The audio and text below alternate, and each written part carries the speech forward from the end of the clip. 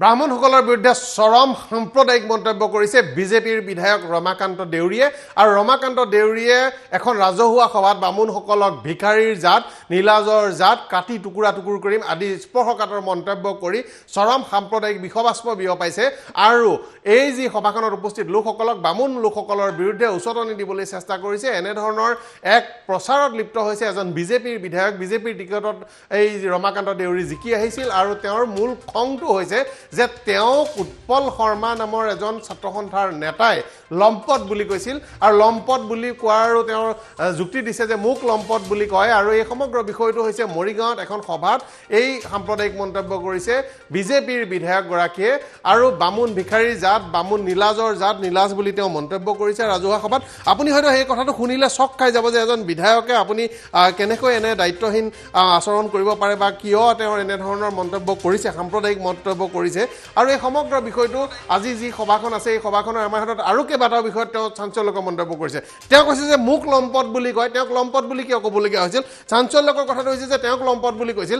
আৰু তেওঁ কৈছে যে জনজাতীয় লোকক ৰাজপথলৈ উলিয়াই আনি গোসাঁইসকলে বামুণসকলে গুলীয়াই মাৰিছে মৰাইছে বুলি কৈছে। তেওঁ বিদ্বেষ প্ৰকাশ কৰিছে মহন্ত গোসাঁই আৰু বামুণৰ ওপৰত। মই প্ৰথমতে দেখুৱাইছোঁ মই যদি ফুল স্ক্ৰীণ দেখুৱাব পাৰোঁ তেওঁ চৰম ব্ৰাহ্মণ বিদ্বেষ তেওঁৰ এই বক্তব্যটোত ওলাব। আৰু কেইবাটাও গুৰুত্বপূৰ্ণ কথা কৈছে এইটোৰ পাছত সিটো জঘন্য সাম্প্ৰদায়িক মন্তব্য কৰিছে। মই প্ৰথমতে শুনাইছোঁ সেই সাম্প্ৰদায়িক বক্তব্য।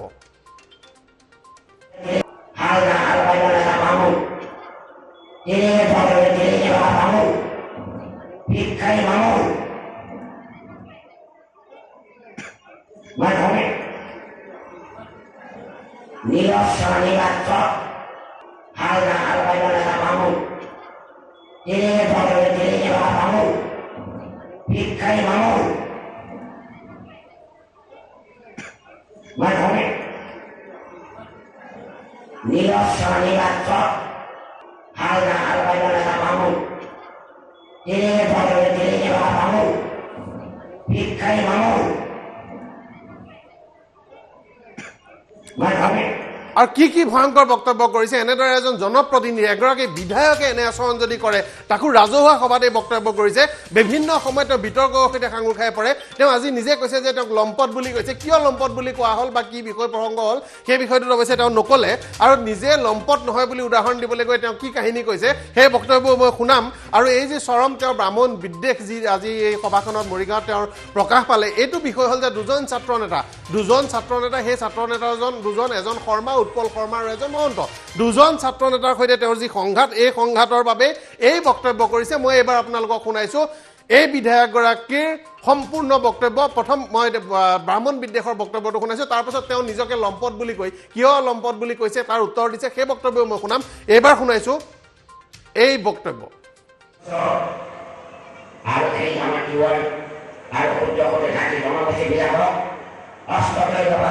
আৰু এই আমাৰ জীৱন আৰু সূৰ্য কৰি থাকি জনগোষ্ঠীবিলাকক অষ্টকৈ দবা হৈ আহিছোঁ পোহৰ এতিয়াও পোহৰ কেইদিন নাই।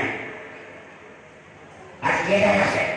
আজি সেইটো হিমাংশু মহন্ত আৰু উৎপল শৰ্মা ৰাজু এই মহন্ত ৰাজু আৰু মহন্ত গোহাঁই কেইটা মানুহ আছে ইয়াত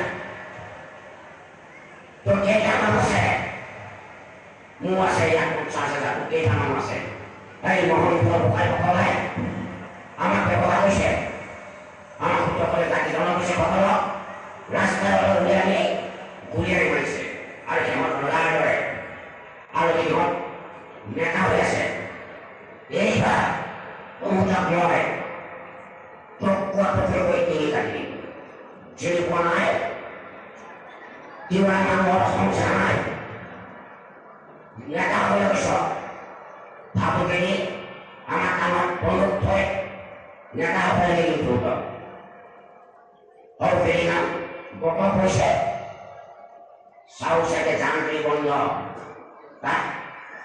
আন্দোলন কৰিছে তিনিটা মানুহ চাৰিটা মানুহ ল'ৰা আনি পেলাই আন্দোলন কৰিছে মই চেলেঞ্জ কৰিছোঁ মোক ইমান জন্ম আছে মোক ব্যক্তিগত আক্ৰমণ কৰিছে এই উৎপল শৰ্মা বামুণটোৱে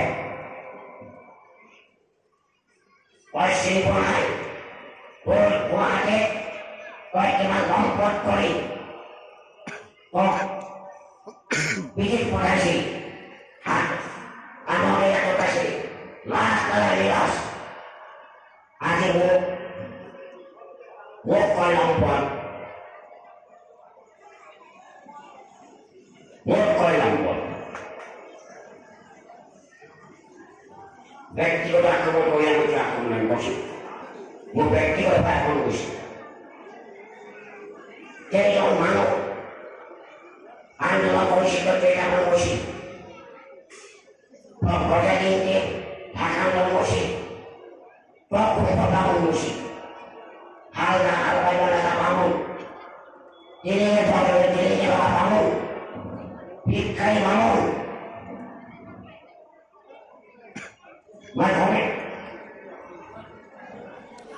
তেওঁৰ খং তেওঁ খং তেওঁক লম্পট বুলি কৈছিল আৰু উৎপল শৰ্মাৰ বিৰুদ্ধে তেওঁ ক্ষোভ উজাৰিছে আৰু এই ভাইচ চাঞ্চলকৰ তেওঁ যি মন্তব্য এই যি মন্তব্য মই আৰু এটা বক্তব্য আছে তেওঁৰ আৰু এটা স্পৰ্শকাতৰ বক্তব্য আছে। তেওঁ কেনেদৰে এই নিৰ্বাচনৰ প্ৰাক মুহূৰ্তত যি সাম্প্ৰদায়িক এটা কাৰ্ড খেলিব বিচাৰিছে আৰু মানুহক উচতনি দিব বিচাৰিছে আৰু বিজেপিৰ এজন বিধায়কে এই কাৰ্য সংগঠিত কৰিছে যি পদুম ফুলৰ বিজেপিৰ টিকটত নিৰ্বাচন খেলি জিকি আহিছে। দীক্ষিত শৰ্মা মোৰ সৈতে সংযুক্ত হৈছে এছ'চিয়েট এডিটৰ মই এইটো প্ৰতিক্ৰিয়া শুনাম কিন্তু দীক্ষিত শৰ্মা ওচৰলৈ আহিছোঁ। এক অতি নিন্দনীয় বক্তব্য ৰাখিছে এই বিধায়ক ৰমাকান্ত দেউৰীয়ে আৰু তেওঁৰ বিৰুদ্ধে অভিযোগ উঠিছিল যে দুচৰিত্ৰ চৰিত্ৰহীন বুলি অভিযোগ উঠিছিলে। তেওঁৰ এটা ভিডিঅ' টেপো ভাইৰেল হৈছিলে।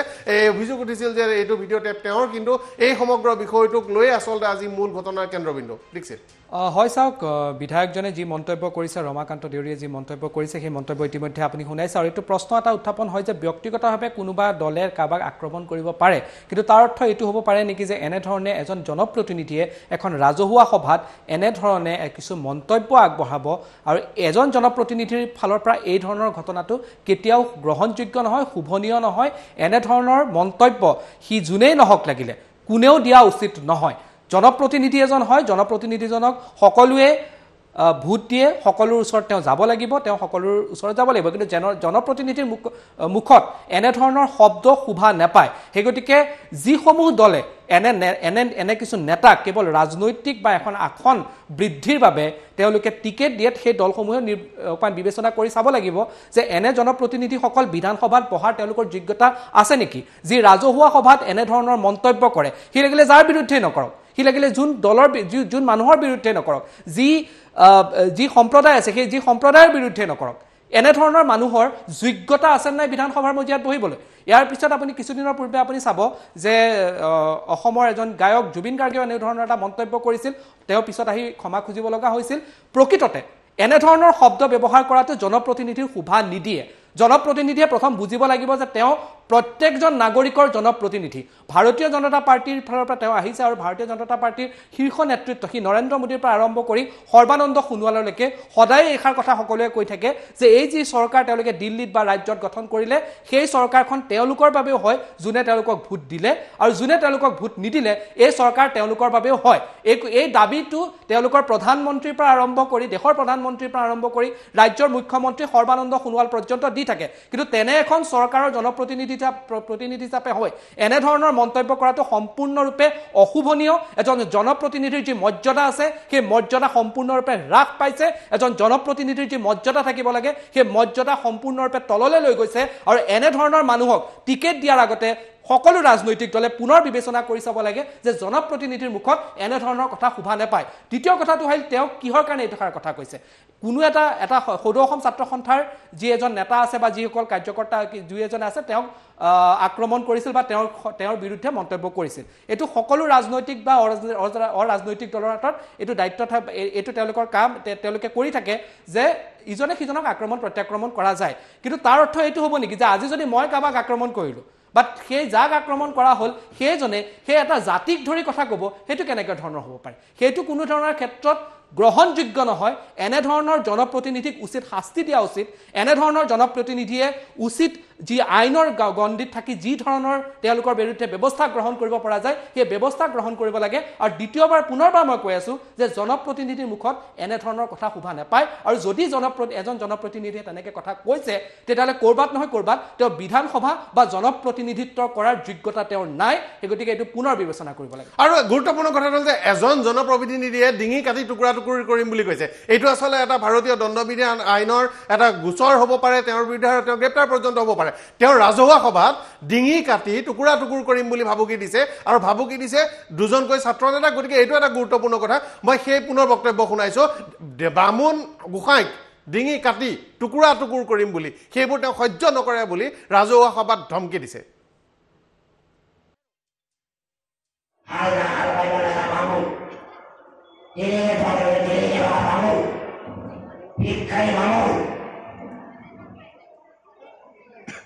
Makanya Nilo sanilat kok Halna albaya lana kamu. Ini pada dirinya lana kamu. Pikai kamu. Makanya আমি দীঘলীয়া যিটো বাইট আছে চাউণ্ড বাইট আছে সেই বাইটটো শুনাম য'ত তেওঁ কৈছে যে যে যি সমগ্ৰ ঘটনা তেওঁ কৈছে যে ডিঙি কাটি টুকুৰা টুকুৰ কৰি পেলাই মই সেই বক্তব্য পুনৰ এবাৰ শুনাইছোঁ ৰাজহুৱা সভাৰ পৰা বিধায়কে কৈছে ডিঙি কাটি টুকুৰা টুকুৰ কৰিম। এই মুহূৰ্তলৈকে তেওঁৰ বিৰুদ্ধে গোচৰ পঞ্জীয়ন হৈছে নাই নাজানো কিন্তু মৰিগাঁও সদৰ থানাত মৰিগাঁও সদৰ থানাৰ ৰচি তাৰ আৰক্ষী অধীক্ষকৰো দায়িত্ব আছে যে নিজাববীয়াকৈ এটা গোচৰ ৰুজু কৰা। কাৰণ বিধায়ক এজনে ৰাজহুৱা মঞ্চত যদি ডিঙি কাটি টুকুৰা টুকুৰ কৰিম বুলি কয় তেনেহ'লে বিধায়কজনে আৰু বা কি কৰে বা কয় বা কৰিছে সেই বিষয়টোক লৈ এটা প্ৰশ্ন উত্থাপন হয়। গতিকে এই বিধায়কজনৰ বিৰুদ্ধে এই মুহূৰ্তত গোচৰ পঞ্জীয়ন হৈছে নে নাই মই নাজানো। কিন্তু তেওঁ এই ৰাজহুৱা সভাত এই কথাটো কৈ তেওঁৰ যে এটা অপৰাধীৰ চৰিত্ৰ আছে। তেওঁ যে মানুহক ডিঙি কাটি টুকুৰা টুকুৰ কৰিব পৰা এজন ক'ব পৰা বা তেনেধৰণে ভাবুকি দিব পৰা এজন মানুহ আৰু এনে এজন মানুহে যে বিজেপিৰ পদুম ফুলৰ টিকেটত জয়ী হৈ আহিছে এই কথাটো তেওঁ ৰাইজৰ সন্মুখত নিজৰ চেহেৰাটো আচলতে আৰু তেওঁৰ যিটো দলৰ পৰা জিকি আহিছে যিটো প্ৰতিক্ৰিয়াৰে জিকি আহিছে কেনেধৰণৰ মানুহক টিকেট দিছে সেইখিনি সম্পূৰ্ণৰূপে নগ্ন কৰি দেখুৱাই দিলে। মই পুনৰ এবাৰ সেই বক্তব্য শুনাইছোঁ। আৰু এই আমাৰ জীৱন আৰু সূৰ্য কৰি থাকি জনগোষ্ঠীবিলাকক অষ্টকৈ ব্যৱহাৰ কৰি আহিছোঁ বহুত এতিয়াও বহুতৰ সেইদিন নাই। আজি কেইটাই আছে আজি সেইটো হিমাংশু মহন্ত আৰু উৎপল শৰ্মা ৰাজু এই মহন্ত ৰাজু আৰু মহন্ত গোহাঁই কেইটা মানুহ আছে ইয়াত তোৰ কেইটা মানুহ আছে মোৰ আছে ইয়াত পঞ্চাছ হাজাৰ কেইটামান আছে এই মহন্তৰ গোসাঁইসকলে আমাক ব্যৱহাৰ কৰিছে আমাক সূত্ৰসকলে জাতি জনগোষ্ঠীসকলক ৰাস্তাৰ উলিয়াই আনি গুলিয়াই মাৰিছে আৰু সিহঁত ৰজাৰ দৰে আৰু সিহঁত নেতা হৈ আছে। এইবাৰ তমুতাক মই তোক কোৱা পত্ৰকৈ তিনি কাটি চিনি পোৱা নাই কিমান মানুহৰ সংসাৰ নাই। নেতা হৈ গৈছ ভাবুকেনি আমাৰ কামত বন্দুক থৈ নেতা হ'বলৈ লাগি দ্ৰুত আৰু সেইদিনা বতৰ পৰিছে চাউ চাগে যান্ত্ৰিক বন্ধ। তাত আন্দোলন কৰিছে তিনিটা মানুহ চাৰিটা মানুহ ল'ৰা আনি পেলাই আন্দোলন কৰিছে মই চেলেঞ্জ কৰিছোঁ মোক ইমান জন্ম আছে মোক ব্যক্তিগত আক্ৰমণ কৰিছে এই উৎপল শৰ্মা বামুণটোৱে তই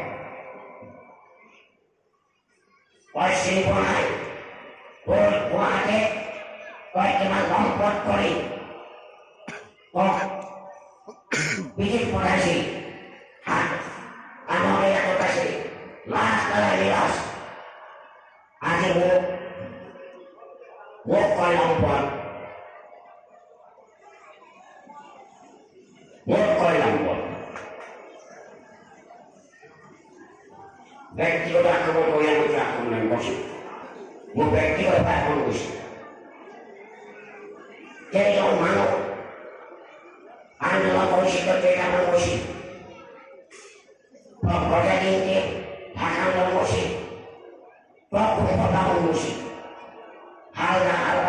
বামুন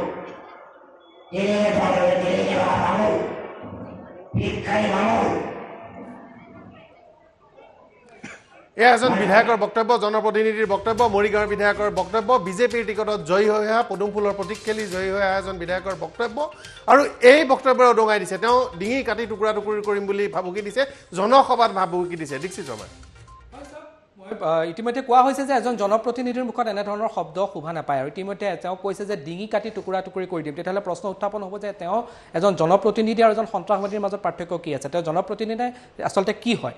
এনেধৰণৰ ভাষা কোনে ব্যৱহাৰ কৰে? সেই ভাষাটো আমি সকলোৱে জানো যে কোনে ব্যৱহাৰ কৰে। তেতিয়াহ'লে ক'ৰবাত নহয় ক'ৰবাত তেওঁ নিজৰ বিৰুদ্ধে থকা ক্ষোভটো নহয়। তেওঁ যিটো পদত আছে। সেই পদৰ অপ অপমাননা কৰিছে সেই পদক তেওঁ অসন্মান কৰিছে তেওঁ যাক প্ৰতিনিধিত্ব কৰে তাৰ অপমান কৰিছে তাৰ অসন্মান কৰিছে আৰু এজন বিধানসভা যিখন পবিত্ৰ বিধানসভা বুলি কোৱা যায় সেই পবিত্ৰ বিধানসভাৰো ক'ৰবাত নহয় ক'ৰবাত তেখেতে এনেধৰণৰ মন্তব্য দি মৰ্যাদা হানি কৰিছে। সেই গতিকে এই ক্ষেত্ৰত এজন জনপ্ৰতিনিধিৰ ক্ষেত্ৰত আৰু ইতিমধ্যে আপুনি কৈছে যে আইনী আইনী ব্যৱস্থা এই ক্ষেত্ৰত গ্ৰহণ কৰিব পৰা যায়। আৰু নিঃসন্দেহে এই গোটেই বিষ- বিষয়টোত আইনৰ যি যি যি নীতি নিয়ম আছে সেই নীতি নিয়মৰ মাধ্যমত যি ব্যৱস্থা গ্ৰহণ কৰিব লগা আছে সেইটো নিশ্চিতভাৱে আইনে চাব বা বিভিন্নজনে চাব। কিন্তু এজন জনপ্ৰতিনিধিৰ মুখত এনেধৰণৰ কথা কেতিয়াও শোভা নাপায়। জনপ্ৰতিনিধিয়ে জনপ্ৰতিনিধিৰ দায়িত্ব পালন কৰিব লাগিব। সন্মানীয় এটা পদ সন্মানৰ এটা জেগা পবিত্ৰ সদন বুলি কোৱা যায় সেই সদনত পবিত্ৰতা থাকে তাত অপবিত্ৰতা নাথাকে তাত ডিঙি কাটি দিম বুলি কোৱা মানুহৰ স্থান প্ৰকৃততে নাথাকে। গতিকে এই দলসমূহেও এনেধৰণৰ মানুহক টিকেট দিয়াৰ আগতে দহবাৰ চিন্তা কৰিব লাগে। হয় ধন্যবাদ দীক্ষিত শৰ্মা। আৰু ৰমাকান্ত দেউৰীয়ে কৈছে যে বামুণক কাটি উৎপল শৰ্মা মহন্ত তেওঁ মহন্ত গোসাঁই আৰু শৰ্মা। বামুণক মহন্ত গোসাঁই সকলোকে তেওঁ এনেদৰে কঠোৰভাৱে নিন্দা কৰিছে আৰু তেওঁ কৈছে যে কাটি টুকুৰা টুকুৰ কৰিব এইবাৰ। আৰু এই কথাও তেওঁ প্ৰকাশ কৰিছে যে এই নিৰ্বাচনত তেওঁলোকে এই যি নিৰ্বাচনী যুঁজখন এই নিৰ্বাচনী যুঁজখনক লৈ তেওঁৰ এই সংঘাত আৰু সেইকাৰণেই তেওঁ ৰাজহুৱাভাৱে এনেধৰণৰ মন্তব্য কৰিছে। আৰু এই কাৰ্য অতি নিন্দনীয় আৰু গৰ্হিত কাৰ্য কৰিছে বিধায়কগৰাকীয়ে। মই এবাৰ শুনাইছোঁ আপোনালোকে নিজে সিদ্ধান্ত লওক এজন বিধায়ক কাটি টুকুৰা টুকুৰ কৰিম বুলি ৰাজহুৱা সভাত ক'ব পৰা এজন বিধায়ক তেওঁ আচলতে কেনেধৰণে জনপ্ৰতিনিধি হৈছে বা জনপ্ৰতিনিধি হোৱাৰ যোগ্যতা আছেনে নাই আমাৰ ভাৰতীয় গণতন্ত্ৰত য'ত সংবিধানত আইনৰ শপত লোৱা হয় আইনৰ শপত লোৱা এজন বিধায়কে আজি এই যি বক্তব্য কৰিলে এই বক্তব্যই প্ৰমাণিত কৰিলে যে তেওঁ আচলতে কেনে স্তৰৰ মানুহ মই পুনৰ এবাৰ সেই বক্তব্য শুনিছোঁ আৰু সেই আমাৰ জীৱন আৰু সূৰ্য সূৰ্য জাতি জনগোষ্ঠীবিলাকক অস্ত্ৰলৈ ব্যৱহাৰ কৰি আহিছোঁ তোহোত এতিয়াও তোহোতৰ সেইদিন নাই আজি কেইজন আছে আজি সেইটো হিমাংশু মহন্ত আৰু উৎপল শৰ্মা ৰাজু এই মহন্ত ৰাজু আৰু মহন্ত গোহাঁই কেইটা মানুহ আছে ইয়াত তোৰ কেইটা মানুহ আছে মোৰ আছে ইয়াত পঞ্চাছ হাজাৰ কেইটামান আছে এই মহন্তৰ গোসাঁইসকলে আমাক ব্যৱহাৰ কৰিছে আমাৰ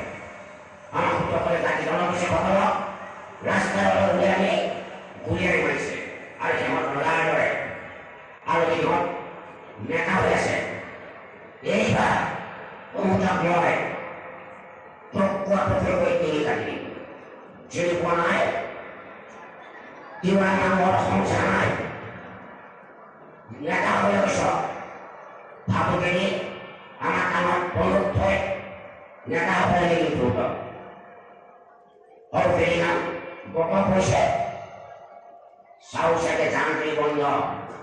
তাত আন্দোলন কৰিছে তিনিটা মানুহ চাৰিটা মানুহ ল'ৰা আনি পেলাই আন্দোলন কৰিছে মই চেলেঞ্জ কৰিছোঁ মোক কিমান জন্ম আছে মোক ব্যক্তিগত আক্ৰমণ কৰিছে এই উৎপল শৰ্মা বামুণটোৱে তই চিনি পোৱা নাই তোৰ গুৱাহাটীত তই কিমান সম্পদ কৰি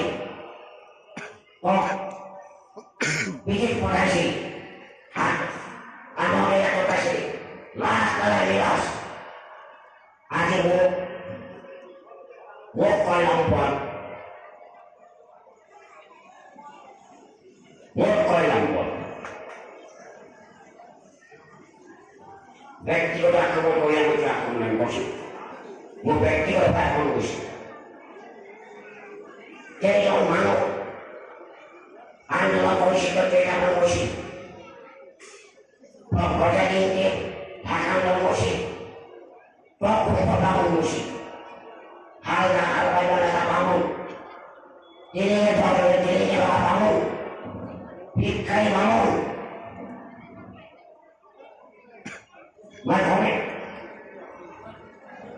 ನೀಲಾಕ್ಷಾಣಿ